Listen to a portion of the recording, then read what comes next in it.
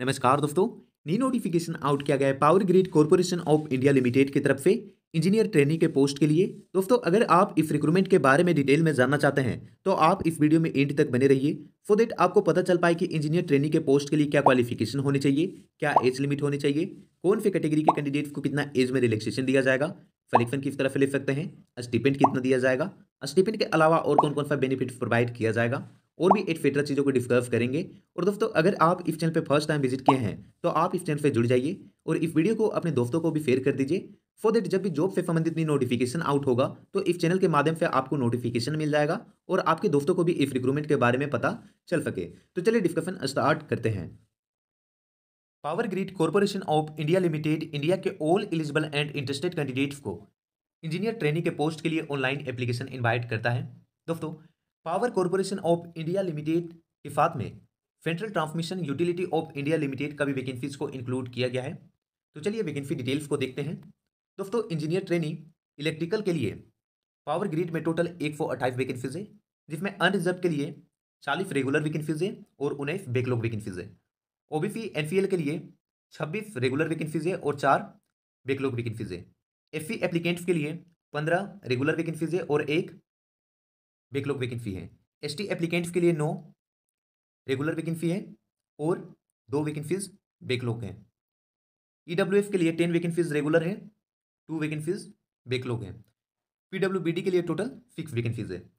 P T U I L में total सोलह vacancies है। सिमिलरली आप कैटेगरी वाइज देख लीजिए कि कौन से कैटेगरी के कैंडिडेट्स के लिए कितने वैकेंसीज है।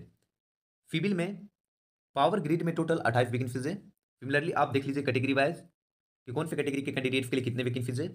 इलेक्ट्रॉनिक्स में, पावर ग्रिड में टोटल दो वैकेंसीज है टी यू आई एल में टोटल चार वैकेंसीज है। कंप्यूटर साइंस ब्रांच में पावर ग्रिड में टोटल छः वैकेंसीज है। सिमिलरली आप कैटेगरी वाइज देख लीजिए टोटल वैकेंसीज एक सौ चौरासी है। अब दोस्तों जानते हैं एलिजिबिलिटी क्राइटेरिया तो देखिए, जिन कैंडिडेट्स के पास 2023 का वैलिड स्कोर कार्ड होगा, ये सारे डिसिप्लिन्स में जो कैंडिडेट क्वालिफाई किए हैं गेट को, वो कैंडिडेट फ़ी इस को अप्लाई करने के लिए एलिजिबल होंगे। एज 18 से 28 साल के बीच में होने चाहिए। डेट ऑफ़ बर्थ देखिए, दस ग्यारह उन्नीस सौ पंचानवे के बाद का होने चाहिए।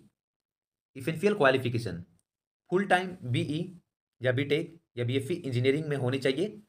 With minimum sixty percent marks या इक्विवेलेंट सी होनी चाहिए। ब्रांच यहाँ से देख लीजिए इलेक्ट्रिकल के लिए इलेक्ट्रिकल या इलेक्ट्रिकल पावर या फिर इलेक्ट्रिकल एंड इलेक्ट्रॉनिक्स या पावर सिस्टम इंजीनियरिंग या पावर इंजीनियरिंग में होने चाहिए। इलेक्ट्रॉनिक्स के लिए सिमिलरली आप देख लीजिए, अगर ये सारे ब्रांच में आप कंप्लीट किए हैं तो आप इलेक्ट्रॉनिक्स को अप्लाई करने के लिए एलिजिबल होंगे। सिविल में सिविल इंजीनियरिंग में बीई या बीटेक या बीएससी होने चाहिए।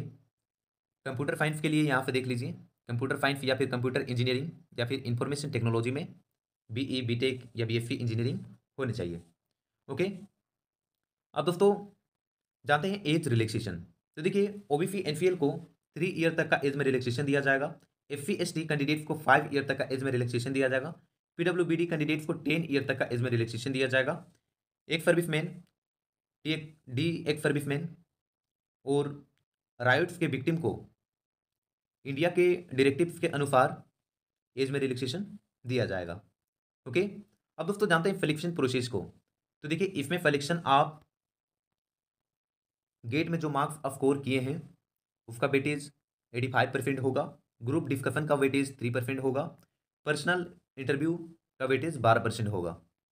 तो ये थ्री स्टेज के थ्रू आप सिलेक्शन ले सकते हैं। गेट के एग्ज़ाम तो आप दे चुके हैं, ओके? अब देखिए, आपको अगर सेलेक्ट किया जाता है तो आपको ग्रुप डिस्कशन को क्लियर करना होगा।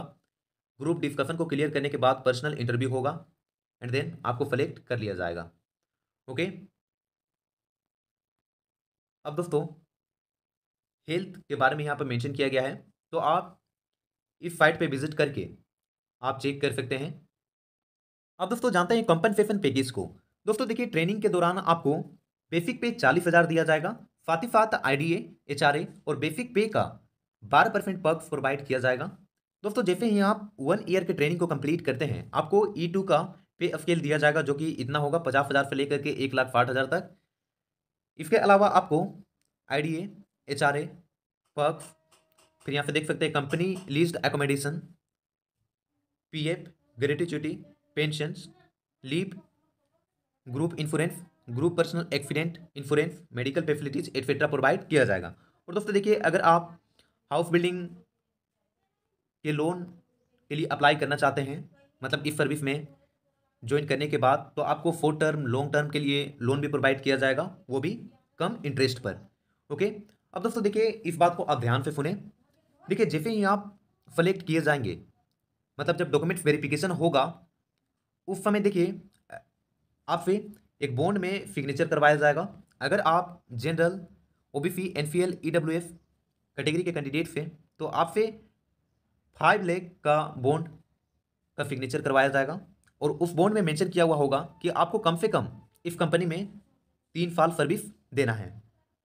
अगर आप तीन साल के पहले इस कंपनी को छोड़ के जाते हैं रिज़ाइन करते हैं तो आपको फाइव लाख रुपीज़ पे करना होगा। ओके? और आप तीन साल के बाद इस कंपनी से रिज़ाइन करते हैं तो आपको एक रुपया भी पे नहीं करना होगा। सिमिलर के F C S T P W B D candidates में भी अप्लाई होगा। बट देखिए, ये कैटेगरी के कैंडिडेट्स को ढाई लाख का बॉन्ड में सिग्नेचर करवाया जाएगा। अगर ये सारे कैटेगरी के कैंडिडेट्स तीन साल से पहले सर्विस को रिज़ाइन करते हैं तो ढाई लाख का अमाउंट पे करना होगा। ओके तो दोस्तों, अगर आप इसको अप्लाई करने के लिए इंटरेस्टेड है, तभी आप अप्लाई करें। अदरवाइज़ आपको ये कंपनसेशन पे करना पड़ सकता है। ओके? हालाँकि आप इतना पैसा कमा लेंगे, अगर आप एक साल इस सर्विस में काम करते हैं तो इससे कई ज़्यादा आप पैसा कमा लेंगे, ओके? अब दोस्तों, देखते हैं एप्लीकेशन फ़ी तो देखिए F C S T P W B D ex serviceman D ex serviceman candidates को इस एप्लीकेशन को अप्लाई करने के लिए किसी भी तरह का पेमेंट नहीं करना होगा। और ये सारे कैटेगरी के कैंडिडेट्स को छोड़ करके बाकी जितने भी कैटेगरी के कैंडिडेट्स आते हैं, उन सभी को फाइव हंड्रेड रुपीज़ पे करने होंगे। इसका पेमेंट आप फिर ऑनलाइन कर सकते हैं। और दोस्तों देखिए, एक बार आप एप्लीकेशन को पे कर देते हैं तो किसी भी सर्कमस्टेंसेस पर आप रिफंड नहीं कर पाएँगे। तो आप इस एप्लीकेशन को तभी अप्लाई करें जब आप इस सर्विस में सर्व करना चाहते हो। अदरवाइज़ आपका फाइव हंड्रेड रुपीज़ वेस्ट हो जाएगा। ओके अब दोस्तों इम्पोर्टेंट डेट्स को जानते हैं। कि कब से आप इस एप्लीकेशन को अप्लाई कर सकते हैं। देखिए, आप इस एप्लीकेशन को बीस दस दो हज़ार तेईस से दस ग्यारह दो हज़ार तेईस के बीच में अप्लाई कर सकते हैं।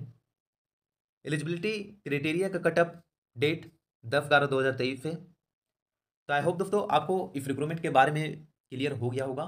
फिर भी आपको किसी भी तरह का डाउट रहता है, देन आप कमेंट कीजिए। मैं आपके डाउट को क्लियर करने की कोशिश करूँगा। और दोस्तों, अगर आप इस चैनल पर फ़र्स्ट टाइम विज़िट किए हैं तो आप इस चैनल से जुड़ जाइए। क्योंकि जब भी जॉब से संबंधित नई नोटिफिकेशन आउट होगा तो इस चैनल के माध्यम से आपको नोटिफिकेशन मिल जाएगा। और इस वीडियो को अपने दोस्तों को भी शेयर कर दीजिए सो देट आपके दोस्तों को भी इस रिक्रूटमेंट के बारे में पता चल सके। मिलते हैं नेक्स्ट वीडियो में इसी तरह के नोटिफिकेशन को लेकर के। और दोस्तों, अगर आप इस एप्लीकेशन को अप्लाई करने के लिए इंटरेस्टेड हैं तो इसका लिंक आपको वीडियो के नीचे डिस्क्रिप्शन में मिल जाएगा। वहाँ पर डायरेक्टली आप इस एप्लीकेशन को अप्लाई कर सकते हैं। तब तक के लिए जय हिंद, जय भारत।